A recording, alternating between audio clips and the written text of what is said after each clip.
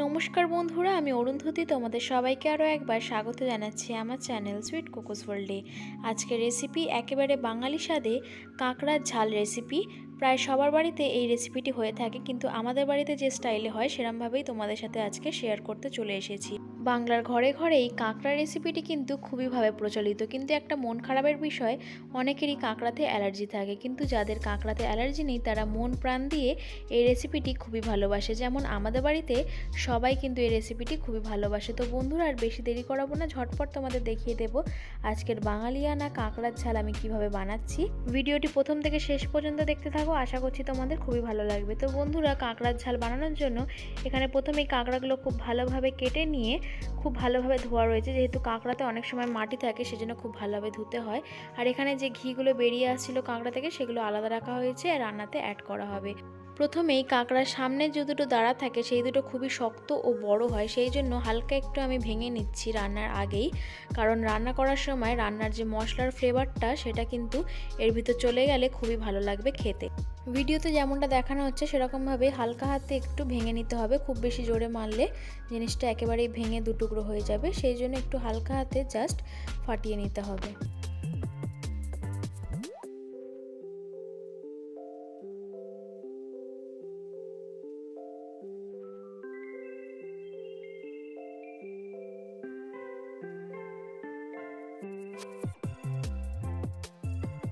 সব কটা কাঁকড়ার শক্ত দাঁড়াগুলো আমার ভাঙা হয়ে গেছে। এবার একটা কড়াই গরম হতে বসিয়ে দিয়েছি আর তাতে পাঁচ থেকে ছ টেবিল চামচ পরিমাণ সর্ষের তেল গরম করে নিচ্ছি আর এখানে পুরো রান্নাটাই কিন্তু সর্ষের তেল দিয়ে হবে। তো বন্ধুরা, প্রথমেই তেলটা খুব ভালোভাবে হাই হিটে গরম করে নিয়ে তারপর মিডিয়াম হিটে করে সব কটা কাঁকড়া আমি প্রথমে এখানে ভেজে নেব। তো প্রথমে আমি কাঁকড়ার এখানে বডিগুলো ভেজে নিচ্ছি, সামান্য একটু নুন ও হলুদ দিয়ে দু থেকে তিন মিনিট লো থেকে মিডিয়াম হিটে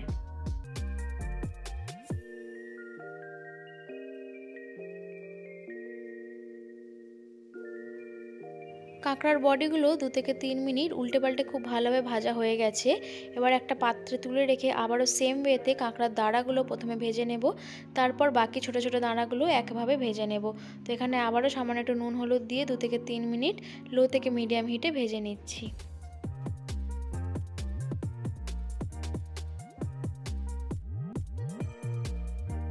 তো বন্ধুরা দেখতেই পাচ্ছ কাঁকড়াগুলো খুব ভালোভাবে ভাজা হয়ে গেছে। এবার একটা পাত্রে তুলে রেখে দিচ্ছি পরে ইউজ করার জন্য। আবার ওই সেম কড়াইতে যেটুকুনি তেল আছে তার মধ্যে আরও দু টেবিল চামচ সর্ষের তেল অ্যাড করে দিচ্ছি। তেলটা খুব ভালোভাবে গরম করে নিয়ে গ্যাসটা লো ফ্লেমে করে ফোড়নে দিয়ে দিচ্ছি গোটা গরম মশলা। তার মধ্যে আছে এক ইঞ্চ দারচিনি, দুটো ছোট এলাচ, চারটে লবঙ্গ, দুটো তেজপাতা ও একটা শুকনো লঙ্কা। এখানে আমি গোটা গরম মশলাটা একটু রোস্ট করে নিয়ে ক্রাশ করে নিয়েছি, এতে ফ্লেভারটা খুবই ভালো আসে রান্নায়। তো বন্ধুরা, একদম লো হিটে আমি গোটা গরম মশলা, তেজপাতা ও শুকনো লঙ্কা ফোড়নে দিয়ে দিলাম। দিয়ে একদম লো হিটে দু থেকে তিন সেকেন্ড একটু নেড়ে নিচ্ছি। গরম মশলার গন্ধ বেরিয়ে আসলে আমি এখানে পেঁয়াজ অ্যাড করে দেবো। লো হিটে দু থেকে তিন সেকেন্ড নাড়ার পরে গোটা গরম মশলার খুব সুন্দর একটা গন্ধ বেরিয়ে এসেছে। এবারে আমি এখানে অ্যাড করে দিচ্ছি দুটো বড় সাইজের পেঁয়াজ, যেটা স্লাইস করে কাটা।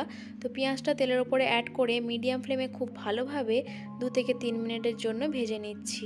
আর পেঁয়াজ ভাজার সাথে সাথেই এখানে কাঁকড়ার যে ঘিগুলো আমি আলাদা করে রেখেছিলাম, সেটা অ্যাড করে দিচ্ছি।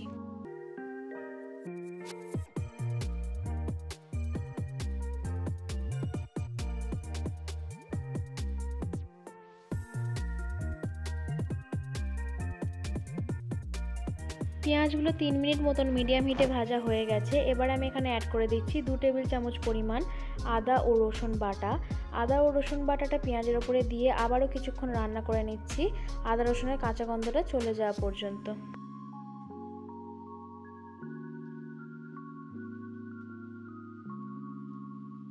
কিছুক্ষণ মিডিয়াম হিটে রান্না করার পরে আদা রসুনের কাঁচা গন্ধটা চলে গেছে। এবার এখানে একটা মিডিয়াম সাইজের টমেটো স্লাইস করে কেটে নিয়েছি, সেটাই অ্যাড করে দিলাম। দিয়ে আবারও এক মিনিট মতন রান্না করে নিচ্ছি, টমেটোটা একটু নরম হওয়া পর্যন্ত।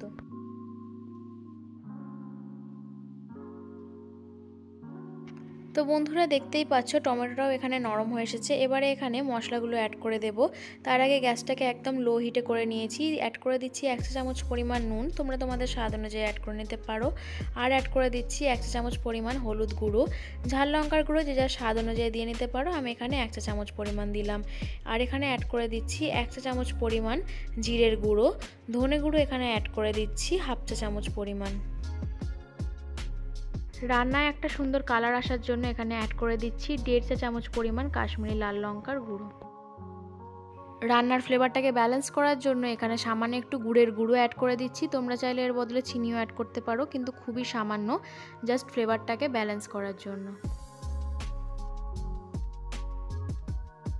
তো বন্ধুরা, আমার এখানে সব কটা মশলাই অ্যাড করা হয়ে গেছে। এবারে সামান্য একটু জল অ্যাড করে খুব ভালোভাবে মশলাটাকে কষিয়ে নিচ্ছি যতক্ষণ না নিজস্ব একটা মশলা থেকে তেল বেরিয়ে আসছে।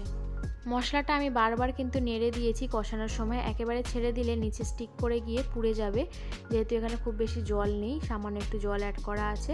সেই জন্য মশলাটা বারবার নেড়ে একটু কষিয়ে নিতে হবে তেল বেরিয়ে আসা পর্যন্ত। মশলাটা লো থেকে মিডিয়াম হিটে করে বারবার নেড়ে খুব ভালোভাবে কষিয়ে নিয়েছি। নিজস্ব একটা তেল বেরিয়ে এসেছে। এবারে ভেজে রাখা কাঁকড়াগুলো মশলার ওপরে দিয়ে খুব ভালোভাবে আবারও তিন থেকে চার মিনিট মশলার সাথে কষিয়ে নিচ্ছি মিডিয়াম হিটে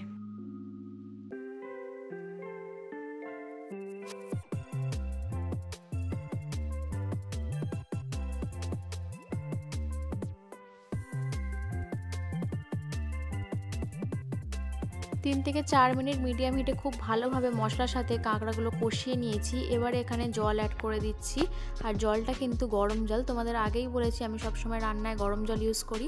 এতে করে রান্নাটা তাড়াতাড়িও হয় আর টেস্টটাও খুব ভালো আসে। তো আমি এখানে তিন কাপ মতন জল অ্যাড করে দিলাম। যেহেতু এখানে কষা হবে, খুব বেশি জল অ্যাড হবে না। সেই জন্য আমি তিন কাপ জল অ্যাড করে এক মিনিট হাই হিটে ফুটিয়ে তারপর ঢাকা দিয়ে রান্না করব পনেরো থেকে কুড়ি মিনিটের জন্য। যেহেতু কাঁকড়াটা একটু শক্ত, সেই জন্য টাইম লাগবে রান্না হতে। তো একদম লো হিটে করে দিয়ে ঢাকা দিয়ে রান্না করতে হবে। এক মিনিট হাই হিটে ফুটিয়ে নিয়েছি, এবারে গ্যাসটাকে একদম লো হিটে করে পনেরো থেকে কুড়ি মিনিটের জন্য রান্না করে নিচ্ছি। লো হিটে ঢাকা দিয়ে পনেরো থেকে কুড়ি মিনিট রান্না করার পরে আমার রান্নাটা একেবারেই কমপ্লিট হয়ে এসেছে। তোমরা এই মুহূর্তে যে যা স্বাদ অনুযায়ী নুনটাকে ব্যালেন্স করে নিতে পারো, যদি প্রয়োজন হয়। রান্নাটা আমার যেহেতু একেবারে কমপ্লিট হয়ে এসেছে, এবারে আমি এখানে অ্যাড করে দিচ্ছি ধনেপাতা কুচি। ধনেপাতা কুচি দিয়ে এক মিনিট স্ট্যান্ডিং টাইম রান্না করেই তোমাদের সার্ভ করে দেখাবো। তো তোমরা এই মুহূর্তে যে যার প্রয়োজন অনুযায়ী গ্রেভি রেখে গ্যাসটাকে বন্ধ করে দিতে পারো। এখানে খুব বেশি ঝোল হবে না, যেহেতু এখানে কাঁকড়ার ঝাল, সেই জন্য ঝোলটা একটু কমই নামাতে হবে। তো আমি এখানে এই পরিমাণে রেখেই গ্যাসটাকে অফ করে দেবো। এক মিনিট স্ট্যান্ডিং টাইম রান্না করে। আজকের রেসিপি একেবারে অথেন্টিক বাঙালিয়ানা স্বাদে কাঁকড়ার ঝাল তোমাদের সামনে সার্ভ করেছি। তোমরা দেখতেই পাচ্ছ কতটা লোভনীয় দেখতে লাগছে। গরম গরম ভাতের সাথে দুপুরবেলা লাঞ্চ কিন্তু একেবারেই জমে যাবে। এর কিন্তু জুড়ি মেলা ভার। তো বন্ধুরা, দেরি না করে ঝটপটে রেসিপিটি বাড়িতে ট্রাই করে ফেলো। আর কথা দিচ্ছি, সবার মন জয় করে ফেলতে পারবে। যদি আমার আজকের রেসিপিটি বাড়িতে ট্রাই করে বানিয়ে থাকো, তাহলে অবশ্যই আমাকে কমেন্ট বক্সে জানাতে ভুলো না। তোমাদের কেমন লাগল আমার আজকের এই রেসিপিটি আর তোমাদের মধ্যেও যদি ভালো মন্দ কোনো সাজেশান থাকে, অবশ্যই আমাকে কমেন্ট বক্সে জানাতে ভুলো না, কারণ তোমাদের জন্যই আমার এই ভিডিওটি বানানো, তাই তোমাদের সাজেশানটাই আমার কাছে মেন ইম্পর্টেন্ট তো তোমরা অবশ্যই কমেন্ট করতে ভুলো না। তোমাদের রেসিপিটি ভালো লাগলে অবশ্যই বন্ধুবান্ধব ফ্যামিলি সবার সাথে শেয়ার করে দিও। আর যারা এখনও আমার চ্যানেলটিকে সাবস্ক্রাইব করেন, তারা ঝটপট সাবস্ক্রাইব করে পাশে থাকা বেলাইকনে প্রেস করে অলে ক্লিক করে রেখো পরবর্তী ভিডিওগুলি নোটিফিকেশন পেতে। আজকের মতন এখানেই বিদায় জানাচ্ছি। ফিরে আসব আর একটা সুন্দর কোনো রেসিপি কিংবা একটা নতুন কোনো ব্লগের সাথে। ততক্ষণ তোমরা সবাই অনেক অনেক অনেক সুস্থ থেকো, ভালো থেকো আর এরকমই হাসি খুশি থেকো। আজকের মতন বাই বাই টেক কেয়ার